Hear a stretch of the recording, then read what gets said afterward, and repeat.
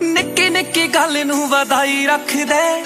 24 ਘੰਟੇ ਖੱਪ ਖਾਣਾ ਪਾਈ ਰੱਖਦੇ। ਇੱਕ ਦੂਸਰੇ ਨੂੰ ਕਰਕੇ ਸ਼ੁਦਾਈ ਰੱਖਦੇ। ਤੈਨੂੰ ਸਾਹ ਨਾ ਲੈਣ ਦਿੰਦੀ ਮੰਨਦੀ ਆ ਯਾਰਾ ਵੇ। ਪਰ ਇੱਕ ਗੱਲ ਪੱਕੀ ਐ, ਤੇਰੇ ਬਿਨ ਆਉਂਦਾ ਨਹੀਂ ਸਾਂ। ਵੇ ਟੌਮ